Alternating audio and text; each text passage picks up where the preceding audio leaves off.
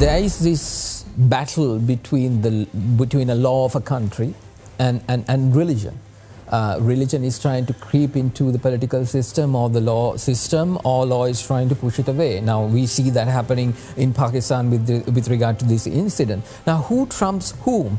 Because uh, the supreme authority should be in that particular moment the law of the land. Everybody is, is entitled to follow that.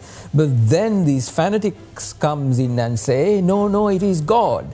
Now, where is the, the line drawn? Because, you know, this person has nothing to do with, with that entire country's political system or, or their, their fights. So, where should the line be drawn? Yeah, now, General Ziaul Haq, when he got the power, thereafter the country changed. They made state religion as Islam. And thereafter, when others came to power, even Benazir, Honorable mm. Benazir Bhutto, they, they try to liberalize.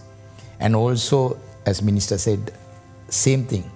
But the issue is not that. Because this teaching system, there are religious schools.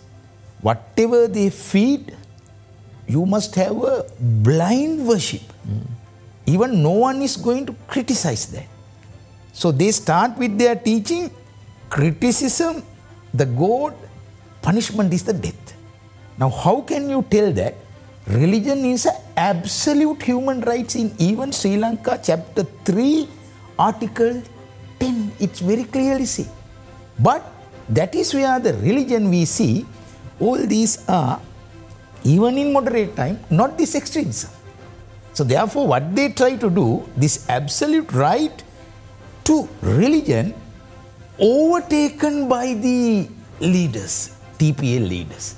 So whatever they say, you must follow. The order given, you cannot criticize or question. That system must change. Not in Pakistan. Even in Sri Lanka, you have seen certain extremism groups. And also where the law. Now, even these TPL supporters or even these workers were bodily doing this harm, that is also against.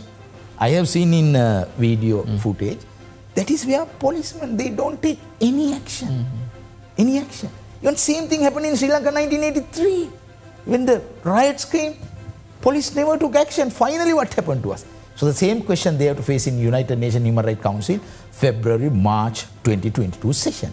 So therefore, now even must come for action. The action as Honorable Minister said, this is a well civilized area now. So it's unbelievable. This is metropolitan. Correct. If it is in another remote area, I can believe this. But that means even with the civilized people, there is no one try to go against. That is where they are keeping in under pressure. Even this poster, let's see, there was a statement because I heard that foreign investors or someone is going to visit, but they want to stop that. And even that area, there may have employee-employee issues. That is a different one. Mm. To handle, there is a labor tribunal in Pakistan. As well as Pakistan, they have the Human Rights Commission. All these things are there because it's a big yeah, city. Yeah, yeah. But now, the investigations, 112 members were arrested of this uh, unmobilized, right?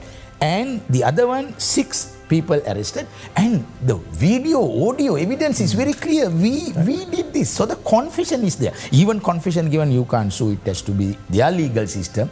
You have to put the charges and thereafter mm. independent judge. Uh, uh, you must go with the case. So this is a good eye opener for pakistan i am telling on this human rights day minister